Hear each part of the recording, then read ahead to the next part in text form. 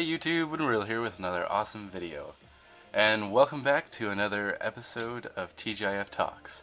On today's episode, we'll be talking about The Legend of the Bionicle. Now, my history with Bionicle goes all the way back to, I guess, 2001, when the first series came out. Uh, the actual first two Bionicles I got were uh, Kopaka and Onua.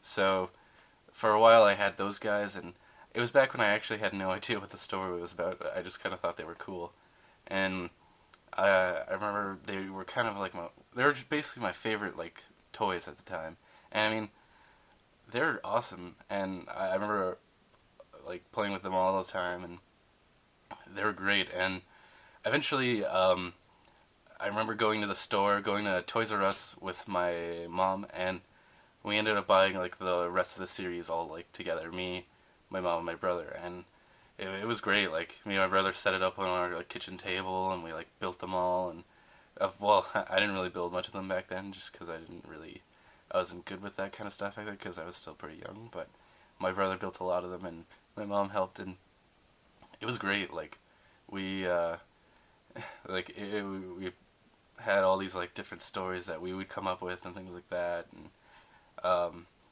it, I still I never I didn't really know about the story that much, so we kind of just came up with our own thing, and you know we'd use them to battle each other and stuff. So it, it was really cool, and I mean that was sort of my first introduction to the Bionicle world, which was just the toy itself. Which I guess for most people that's pretty much how they get introduced to it. Uh, yeah. So I never ended up getting the Toa Nuva, but I remember having like a like one of the booklets there, like the instruction booklets for a Rahkshi, which I did end up getting one Rahkshi, which was the uh, the uh, stone Rahkshi. Uh, I don't know its specific names because a lot of those names were very similar, like for the Bohrok and the Rahkshi, and like the the Vahki. They all kind of had similar names, so it's hard to remember those ones, opposed to like the ones that ended up having personalities in the future, like the Piraka or whatever. But um, yeah, I had a booklet and it had all the Toa Nuva in it. I remember like really wanting to get them, but it was at a time where they kind of didn't really have them anymore, and it was sort of switching over to the Metru era. But um, I, I remember like cutting, like drawing them on pictures and cutting them out and like coloring them and stuff, and that's what I did with those series. So I, I was really like into that, and I uh, I'd go on like the playground at school and stuff and pretend to be like uh, the Toa with a couple of my friends, and it was a lot of fun. And that's when I did actually start like looking into like uh, I think I think what ended up what really got me into the Toa Nuva was when the, I first saw like the first movie, uh, The Mask of Light. Um, I, it was my cousin that gave it to me, or he told me about it, and I went to go rent it at a video store or something, and on VHS. So that was crazy. That's a long time ago. But um, yeah, I rented it, and that's what got me like super crazy about the Toa Nuva. But like like I said, they didn't really sell them anymore at this point. But um, what they did get me into was wanting to get the next series, which was the Metru, and I think uh, the Metru series, like that, like group of heroes ended up being like I think my favorite sort of grouping. Mostly because I think I spent the most time like with it and this is when I really started getting into the series and like started like picking up the books and like reading through those and um, then like the the next movie came out and uh, like Legends of Metru Nui and uh, uh, Web of Shadow. Like when those movies came out like I like watched those things over and over again. Like I freaking love those ones. Like they're the best. And it pretty much opened my mind to like this entire like Bionicle universe, and that's when I really started to like get into the story and learn all their names and all these sorts of things, and like I think uh,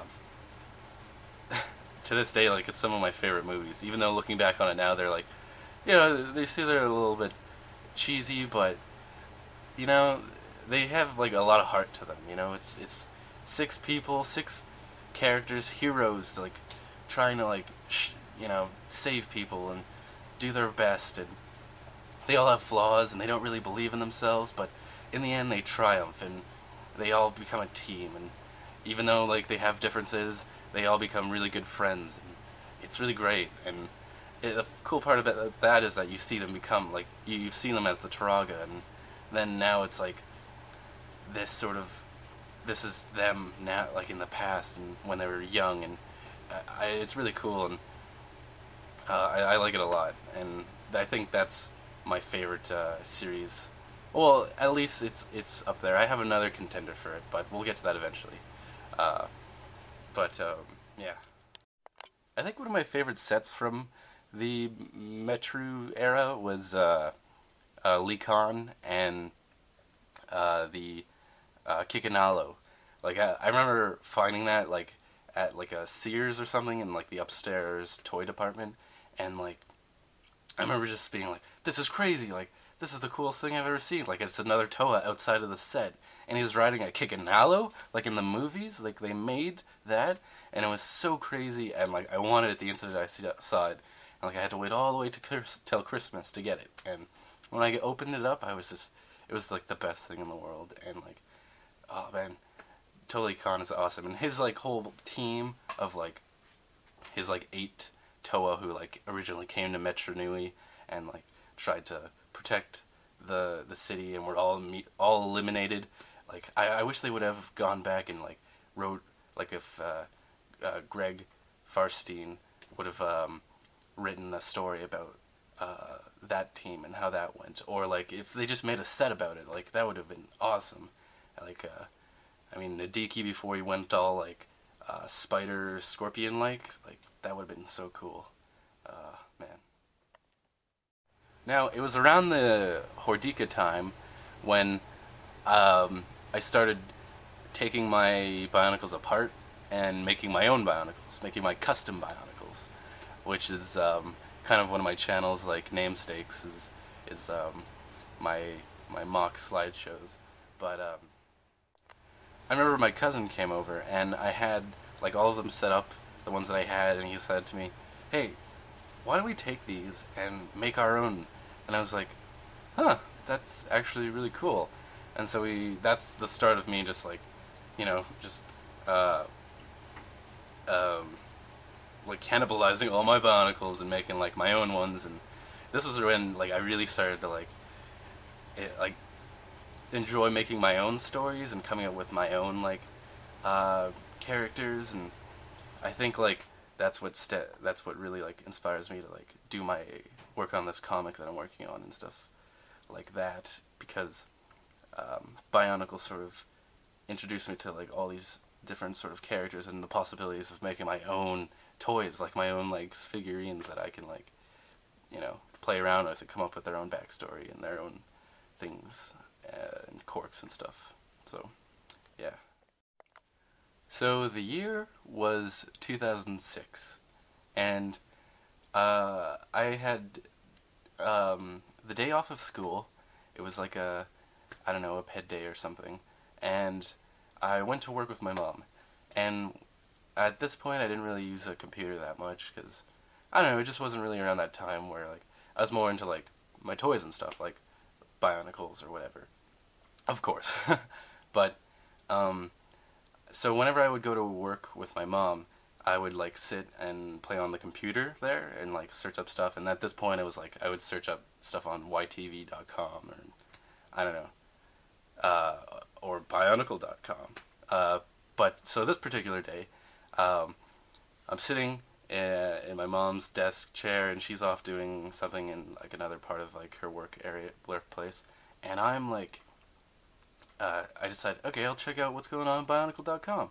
And so I check it out, and there's like a fence, and there's a rainstorm, and it's all, you got All-American Rejects playing in the background, and then a video of these brand new, like, heroes that we've never seen before breaking through a fence, and it blew my freaking mind. Like, I could not freaking believe that. Like, I think I was like, I guess 11 or, or 12 at the time, but like, it was like the craziest thing I've ever seen.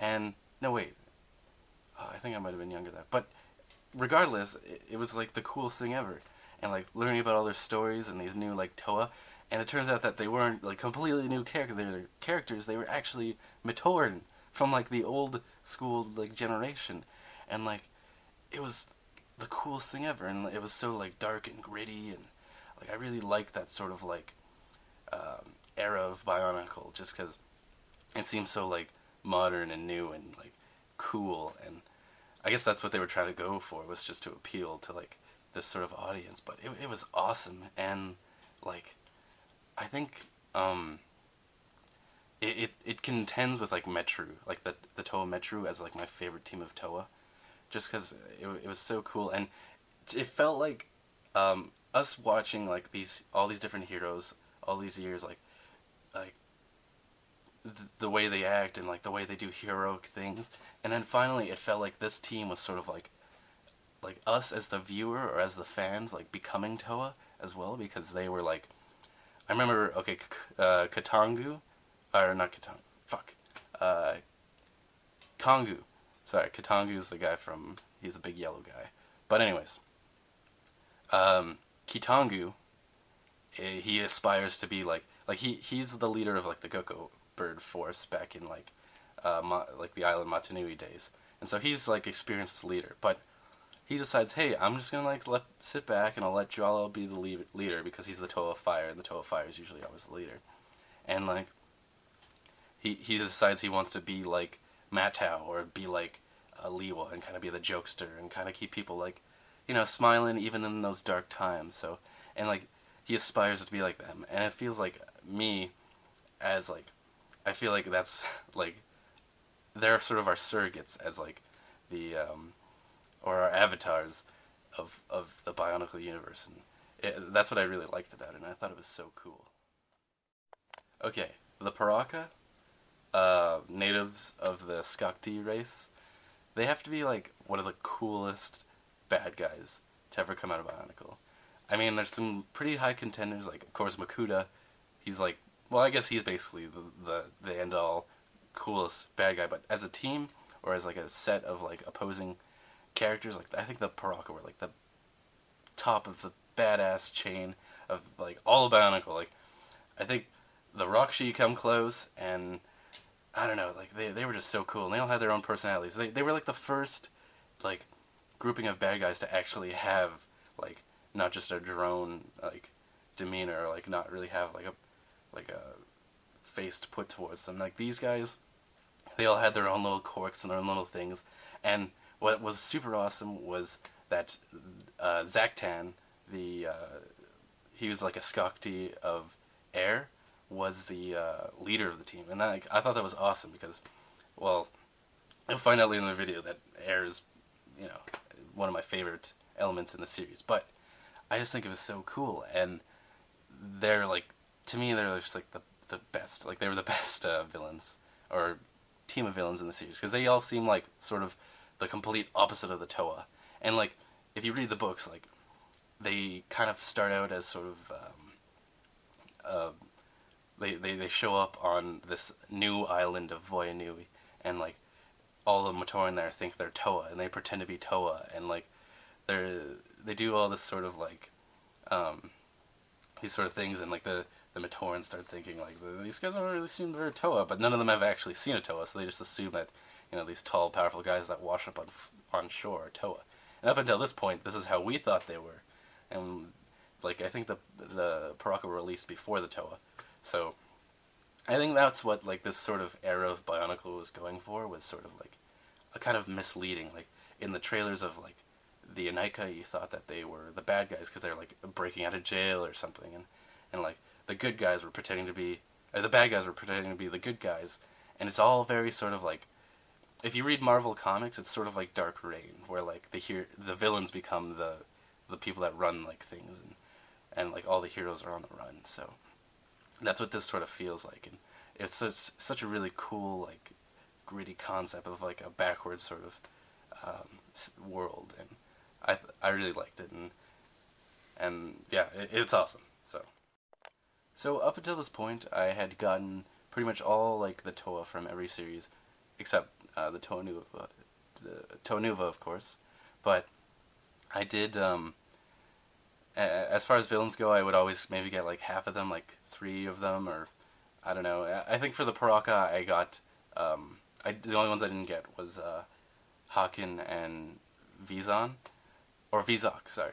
Um, but I guess there it doesn't really matter. It doesn't really matter because they're kind of like clones of each other or whatever.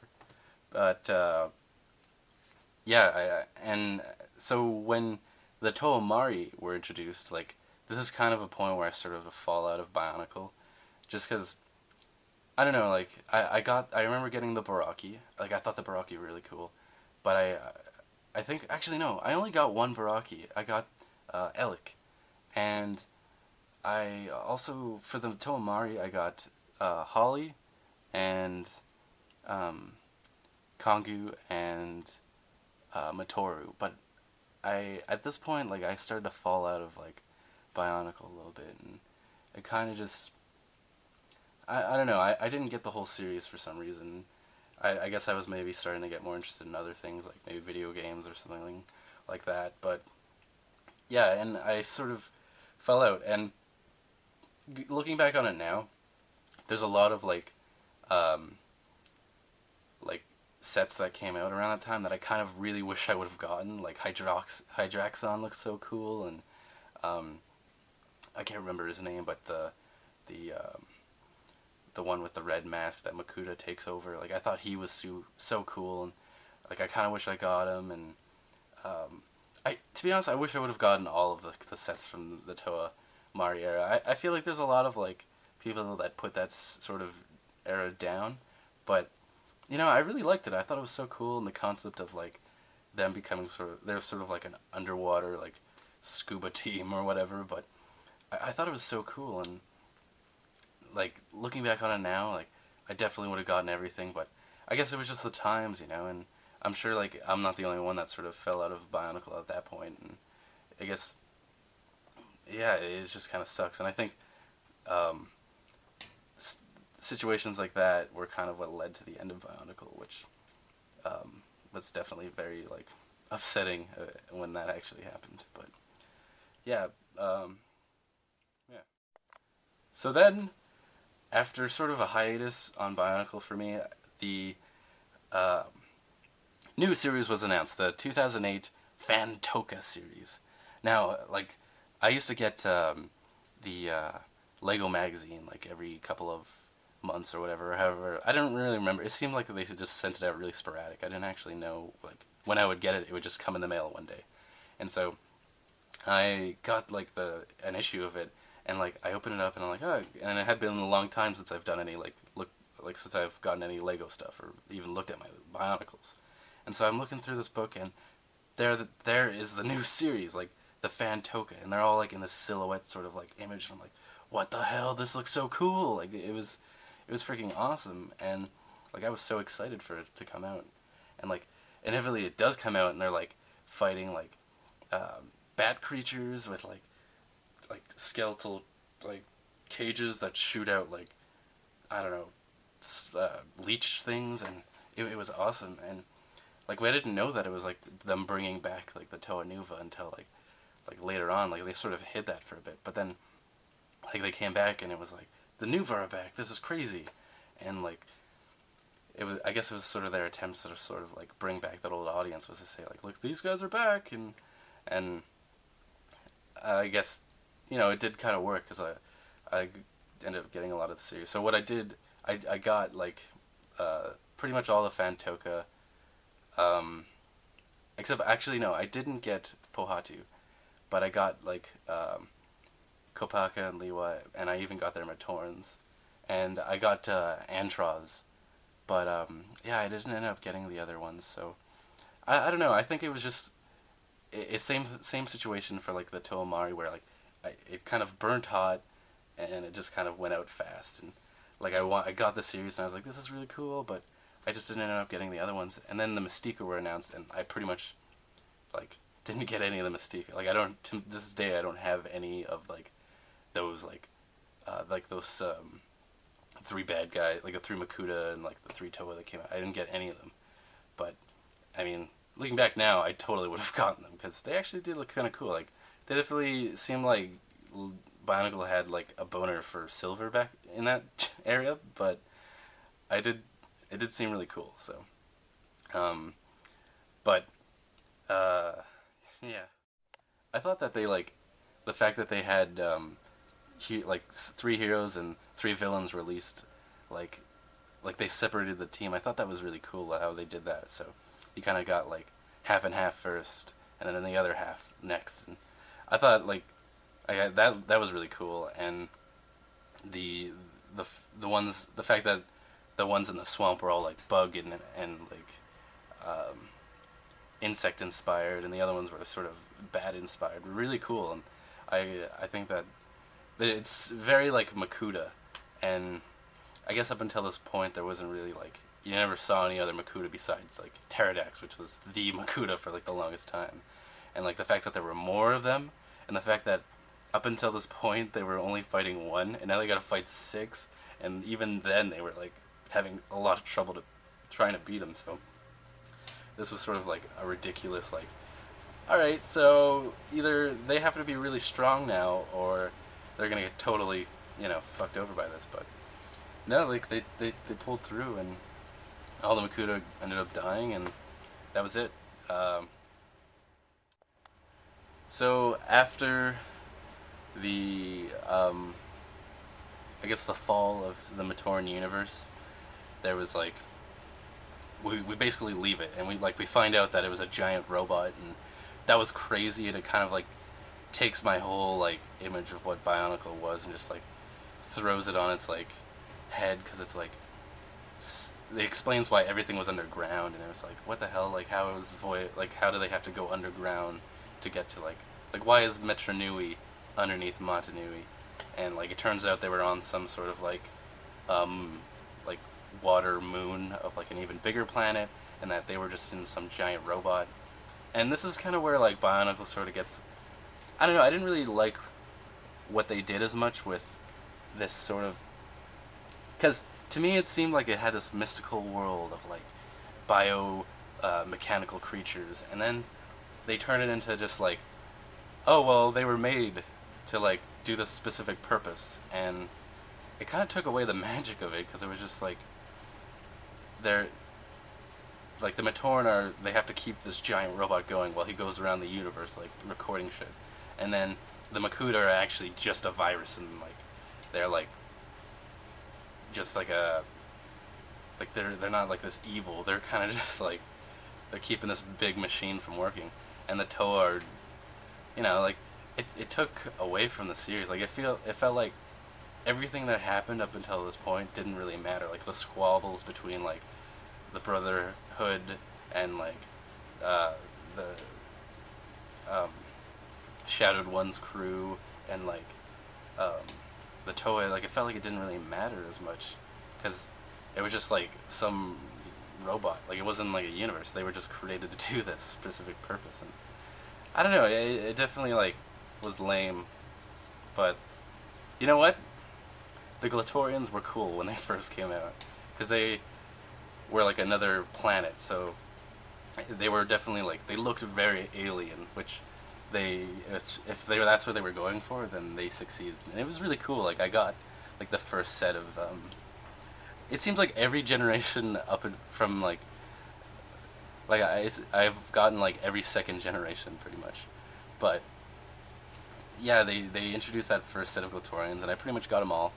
But yeah, I don't know. Uh, the, it, the story kind of just I just didn't really like it. Like I, I, at first, like it just felt too much of like a change. And they just didn't even like like Mata Nui, which was like basically God, is now like just a normal guy, and we're like following him around, and he doesn't know what the hell he's doing. He's trying to be like he's saying like Toas, and like like Glatorians don't know what the hell a Toa is, and and it it just seemed really weird. And you know, like I I like the Glatorians now that I've like I had time to like really look into their thing and now that the whole story like came to a conclusion and it was like uh, I imagine now like it's they're living on like a world where it's like Matoran and Agori like living hand in hand and it's like and that's cool and uh, I just I don't know I just missed like the original sort of like uh,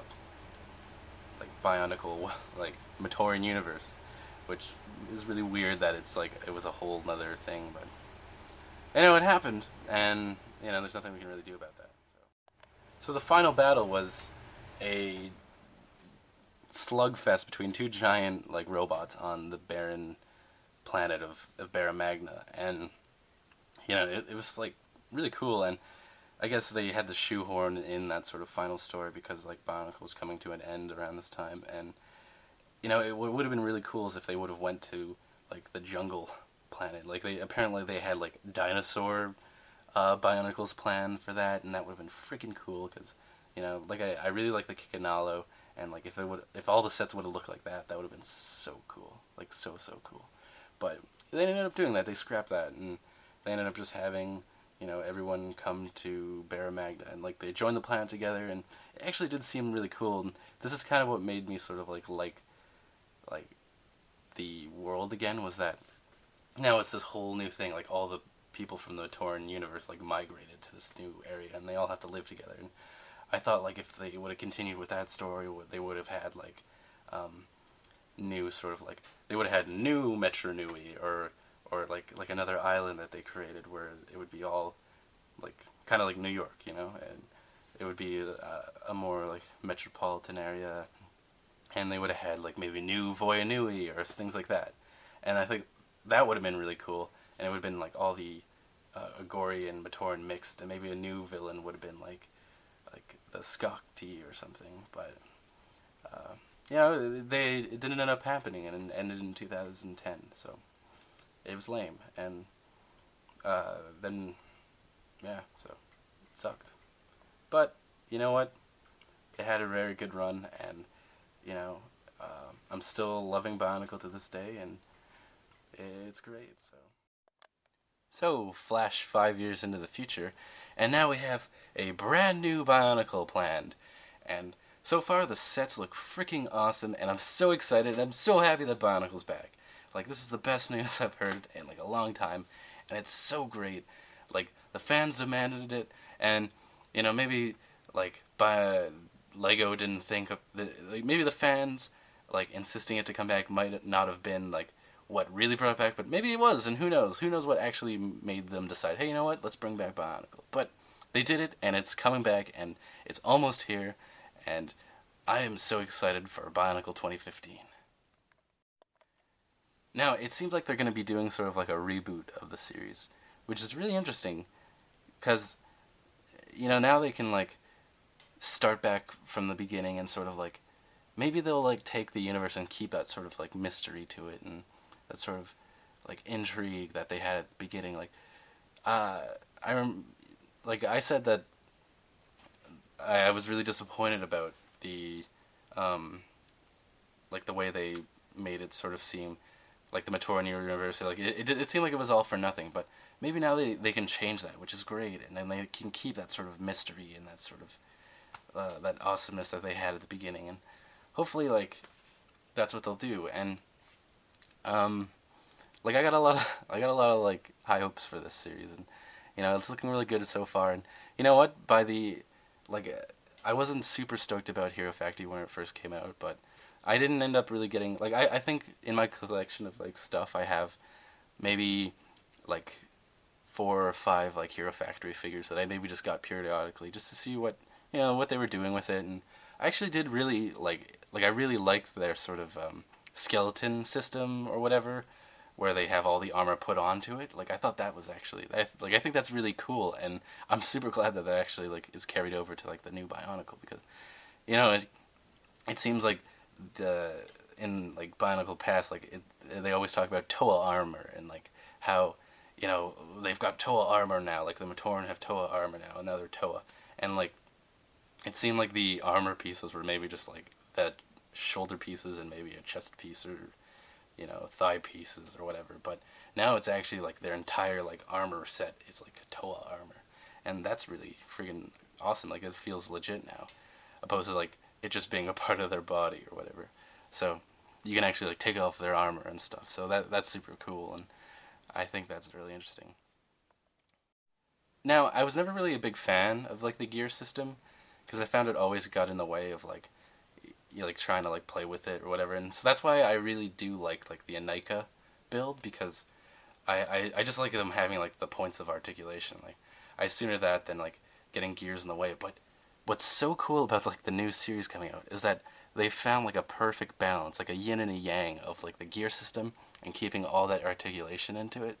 And I'm freaking like I'm so excited to get those in hand because that looks so cool and it like adds a lot to their like actual you know build and it looks so like they actually look imposing and stuff and I'm I'm happy that that's sort of brought back. So it kind of they've appeased like the fans of of like the gear system from way back in the day and they've also appeased the fans of who who like the the a lot of articulation in their in their bionicle figures. So I think that's super cool and they're doing great with that.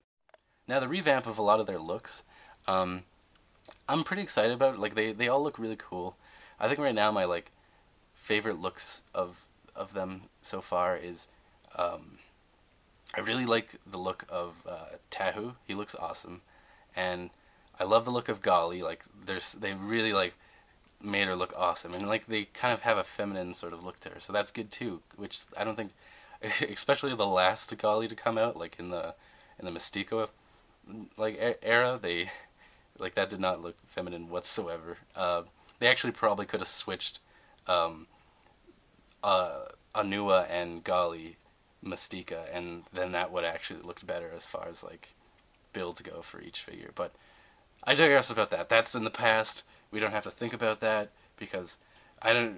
That's just that's old Bionicle now. Like that's old news. Like we can appreciate it. It's there, but now we gotta look to the future to the, what's gonna happen now.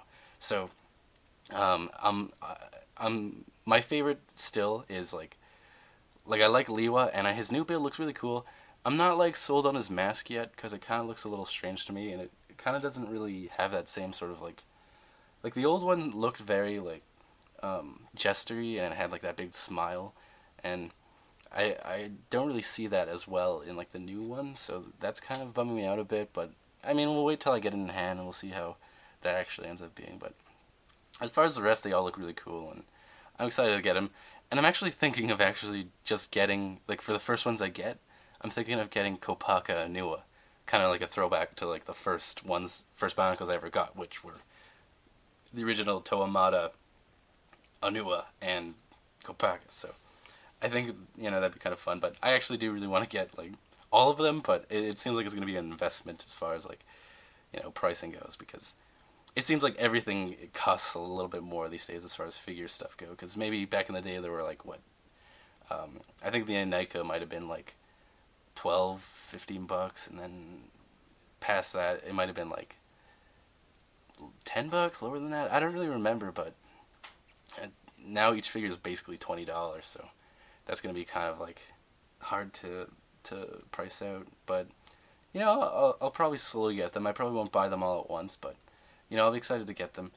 Um, the protectors or Matoran or the Turaga or whatever they're supposed to be the new incarnation of, they look really cool too. Like, I think like Matoran or whatever.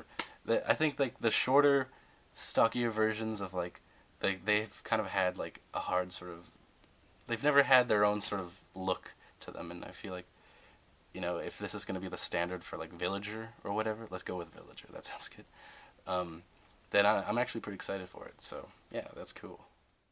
Now the Lord of Skull Spiders, that's really interesting. Like maybe they're like trying to go back and sort of take sort of like the Web of Shadows, the Visorak sort of look, because I mean that was really popular, and I freaking love the Visorak. I think they're so cool, and um, if that's maybe what they're trying to capture again, like it it seems like it's sort of like a Visorak cross with the Bohrok, and in like the the way they're sort of doing it, and you know, it, it definitely seems really interesting, and like I like those face hugger things; those seem really cool. So, yeah, I guess we'll we'll see how, you know, they decide to go with the villains because they haven't even really like we don't even know what the villains are gonna be. Like, that's like the next set that'll probably come out, and I guess we'll we'll see where they end up going with that. But, you know, I I hope they pick something like who knows what they could bring back, you know? Like they have an entire like series. Like we could maybe see like the Piraka like or things that look like the Piraka, or we could see the Rahkshi. I'm gonna guess they might do like a Rahkshi sort of thing because you know that was really popular around this time, or they might do um, like who knows? Like they could pick they have like they could pick anyone to be like their first sort of real villains, and or they could just come up with something completely brand new and original, and that would be cool too. So who knows what they'll do, you know? Now, what I'm really wondering is if if they're gonna like update the Toa, uh, like the the Toa Mata, like each generation, sort of like they were doing with Hero Factory, or if they're gonna introduce like new Toa, and maybe not just new Toa, but like maybe like the next series they'll do is another Metru series, like they'll go back and do that again, like. Now that'd be really interesting, and like I am would be so stoked for them to do that because like that's like you know like I've said like that's my favorite series. So who knows? Maybe they'll go through it again and like do the Metru and then maybe have the Inika come back, but maybe they'll all be sort of like different takes on them, but still like the same sort of character names or whatever. But like I think that'd be really interesting, but who knows what they'll do? Like only time will tell. Like we know so little about what's happening right now, and it's so fresh and new and mysterious, which you know was probably the best part about Bionicle, and the fact that that's what they're going like what they're doing right now is is amazing. So my favorite uh, Bionicle character has to be Matau, hands down. I freaking love Matau. Like his character, he's sarcastic, he's kind of an asshole, but he's kind of a really lovable guy, and he has like such a character growth like throughout the two movies, and I think he's just the coolest guy ever. Like I think when I was younger, I just wanted to be like Matau. Like he was so cool, and you know, I I think as you you know get older in the, these type of in these days, like a lot of the media and sort of characters that you idolize sort of affects who you kind of become, and Matau being like one of them, and like I have you know, there's a lot of stuff I like, and I th- I just love Matau, and I think he's so cool, and if they could like do if they do bring back the Metru, I just hope like Matau comes back because he he was so cool. So with Bionicle 2015 on its way, I'm gonna end off this video with a question to you guys. So, uh, every, by this point, you know that my favorite character was Matau, and my favorite element actually is uh, air in the Bionicle series. Uh, actually, maybe just in general, air is really cool. Like, obviously, Windwirler, uh, Avatar, Last Airbender, air is my favorite element in that too. But regardless, um, I'm kind of bummed out by the fact that Lewa right now is a master of jungle and not a master of air. It's kind of lame.